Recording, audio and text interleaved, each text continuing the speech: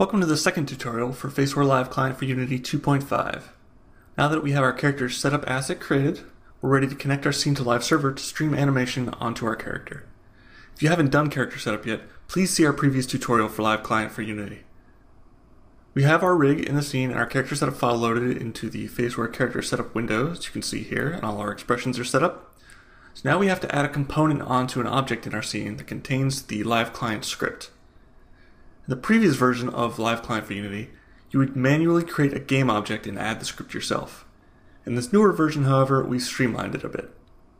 At the bottom of your character setup window, you'll see this section called Step 3 Save your character setup file and apply it to character. That just contains one button Save and apply to character.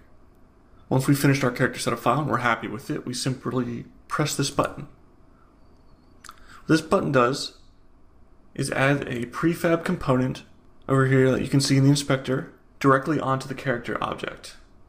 It's called live client script and is where you're going to be entering your live server settings to get the animation streaming onto the rig. There are only a few settings that you need to check here. The first is the live server host name. This is the IP address for the computer that's streaming live server, which you can find at the bottom of the live server interface. Uh, if you're using both live server and Unity on the same machine, then you can just set it to localhost, as you see here and that's the default value. One cool thing to note is that if you're using localhost, you'll see this calibrate button up here, which will let you perform facial calibration for live server directly from the live client in Unity. If you aren't using localhost or if you change it, see that button disappear. Next, we're going to set our live server port number. The default for both live server and live client is 802, but you can change it as necessary to meet your needs. Just be sure that the number in live server and in here both match. Finally, we have our character setup file. Because we chose save and apply to character in the character setup window, it already has our character setup file asset selected. If you're adding the component manually by going to add component, scripts, and selecting live client, you have to manually navigate to find your character setup asset.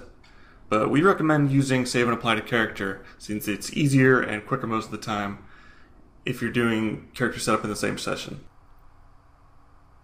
Once you have everything set up in the live client component, all you need to do is make sure you're streaming out of live server, which you're going to do by pressing this button, hit play in Unity, and you'll see your character animating. That's all there is to it at a basic level, but there are a couple other options in the component that I want to cover real quick. So generally speaking, you're going to leave these options checked on. Everything will be fine, but I want to run through them real quick just to show you what they do. The first is connect on play. As it sounds, this will connect your Unity scene and character to the live server data stream as soon as you hit play, which you just saw a moment ago. If you don't want that to happen, you uncheck it. If it's unchecked, then nothing's going to happen when you hit play until you press connect here in the live server component. The second is automatic reconnect.